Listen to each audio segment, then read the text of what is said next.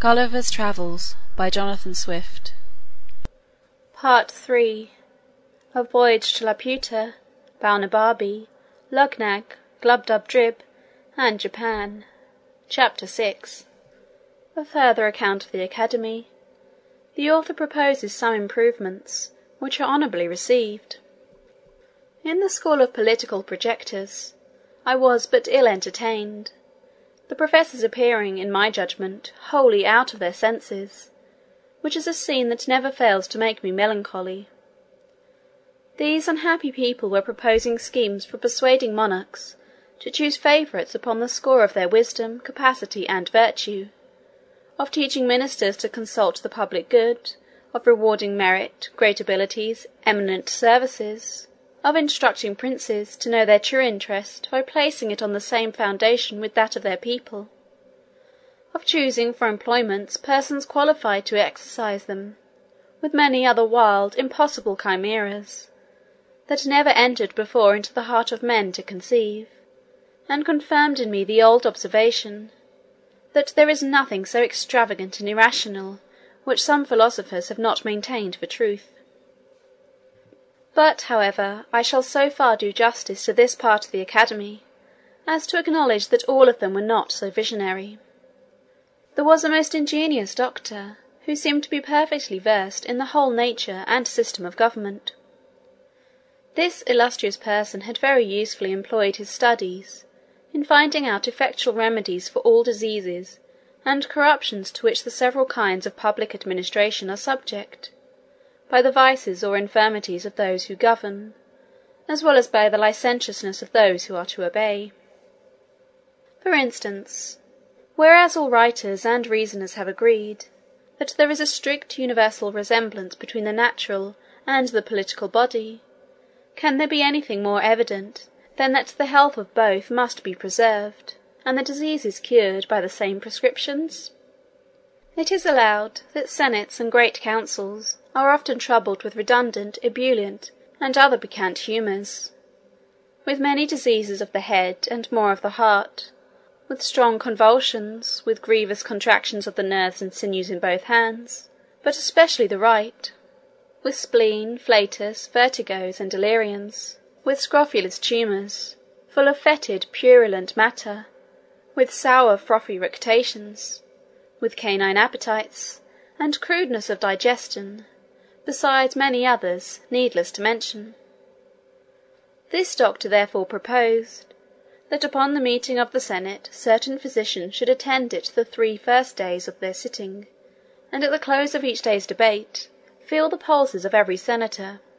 after which, having maturely considered and consulted upon the nature of the several maladies, and the methods of cure,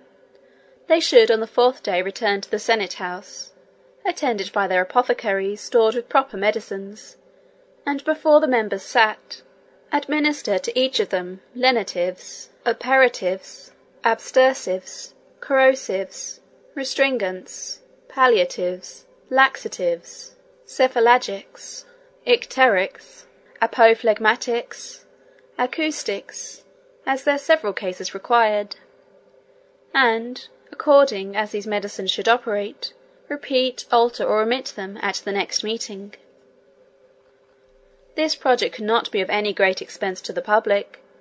and might, in my poor opinion, be of much use for the despatch of business in those countries where senates have any share in the legislative power, beget unanimity, shorten debates, open a few mouths which are now closed, and close many more which are now open curb the petulance of the young, and correct the positiveness of the old, rouse the stupid, and damp the pert. Again, because it is a general complaint, that the favourites of princes are troubled with short and weak memories, the same doctor proposed, that whoever attended a first minister, after having told his business, with the utmost brevity and in the plainest words, should, at his departure, give the said minister a tweak by the nose, or a kick in the belly, or tread on his corns, or lug him thrice by both ears, or run a pin into his breech, or pinch his arms black and blue, to prevent forgetfulness; and at every levee day, repeat the same operation till the business were done or absolutely refused. He likewise directed, that every senator in the great council of a nation, after he had delivered his opinion, and argued in the defence of it, should be obliged to give his vote direct contrary; because if that were done, the result would infallibly terminate in the good of the public. When parties in a state are violent, he offered a wonderful contrivance to reconcile them. The method is this: you take a hundred leaders of each party. You dispose them into couples of such whose heads are nearest of a size; then let two nice operators saw off the occiput of each couple at the same time, in such a manner that the brain may be equally divided. Let the occiputs thus cut off be interchanged, applying each to the head of his opposite party member. It seems indeed to be a work that requires some exactness, but the professor assured us that if it were dexterously performed the cure would be infallible. For he argued thus, that the two brains being left to debate the matter between themselves within the space of one skull, would soon come to a good understanding, and produce that moderation, as well as regularity of thinking, so much to be wished for in the heads of those who imagine they come into the world only to watch and govern its motion. And as to the difference of brains, in quantity or quality, among those who are directors in faction, the doctor assured us, from his own knowledge, that it was a perfect trifle. I heard a very warm debate between two professors, about the most commodious and effectual ways and means of raising money without grieving the subject. The first affirmed, the justest method would be to lay a certain tax upon vices and follies and the sum fixed upon every man to be rated, after the fairest manner, by a jury of his neighbours. The second was of an opinion directly contrary: to tax those qualities of body and mind, for which men chiefly value themselves, the rate to be more or less according to the degrees of excelling, the decision whereof should be left entirely to their own breast. The highest tax was upon men who are the great favourites of the other sex and the assessments, according to the number and nature of the favours they have received, for which they are allowed to be their own vouchers. Wit, valour, and politeness, were likewise proposed to be largely taxed, and collected in the same manner, by every person's giving his own word for the quantum of what he possessed. But as to honour, justice, wisdom, and learning, they should not be taxed at all because they are qualifications of so singular a kind, that no man will either allow them in his neighbour, or value them in himself. The women were proposed to be taxed according to their beauty and skill in dressing, wherein they had the same privilege with the men, to be determined by their own judgment. But constancy, chastity, good sense, and good nature, were not rated, because they would not bear the charge of collecting. To keep senators in the interest of the crown, it was proposed that the members should raffle for employment, every man first taking an oath, and giving security, that he would vote for the court, whether he won or not; after which, the losers had, in their turn, the liberty of raffling upon the next vacancy. Thus hope and expectation would be kept alive; none would complain of broken promises, but impute their disappointments wholly to fortune whose shoulders are broader and stronger than those of a ministry. Another professor showed me a large paper of instructions for discovering plots and conspiracies against the government. He advised great statesmen to examine into the diet of all suspected persons, their times of eating, upon which side they lay in bed, with which hand they wipe their posteriors, take a strict view of their excrements, and from the colour, the odour, the taste, the consistence, the crudeness or maturity of digestion, form a judgment of their thoughts and designs; because men are never so serious, thoughtful, and intent, as when they are at stool, which he found by frequent experiment;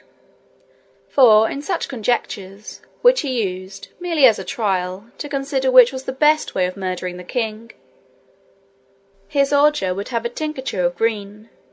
but quite different when he thought only of raising an insurrection, or burning the metropolis. The whole discourse was written with great acuteness, containing many observations, both curious and useful for politicians; but, as I conceived, not altogether complete. This I ventured to tell the author, and offered, if he pleased, to supply him with some additions. He received my proposition with more compliance than is usual among writers, especially those of the projecting species, professing, he would be glad to receive further information. I told him, that in the kingdom of Tribnia, by the natives called Langden, where I had sojourned some time in my travels,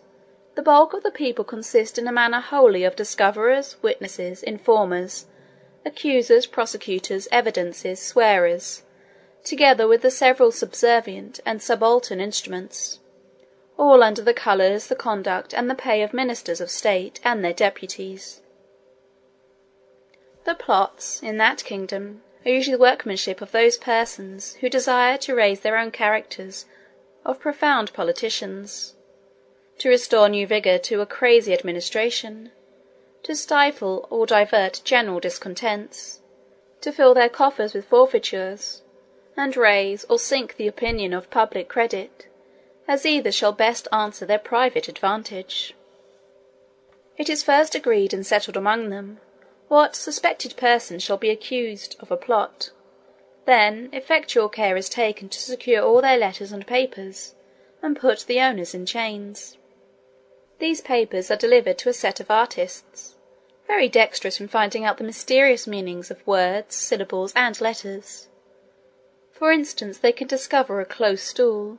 to signify a privy council; a flock of geese, a senate; a lame dog, an invader; the plague, a standing army; a buzzard, a prime minister; the gout, a high priest;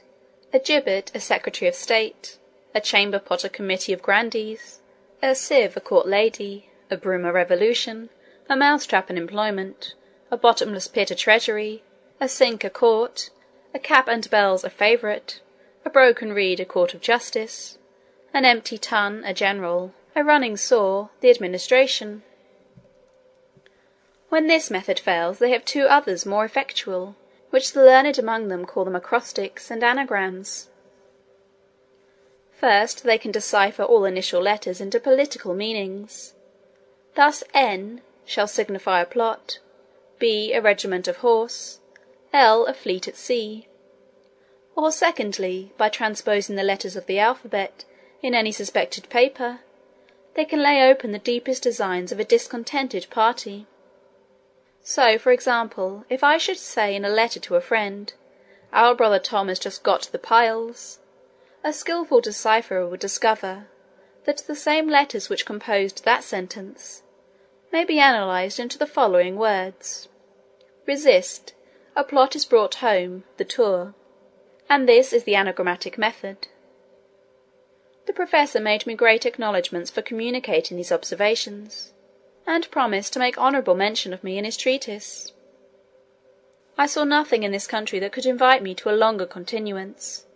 and began to think of returning home to England. End of part III. Chapter VI.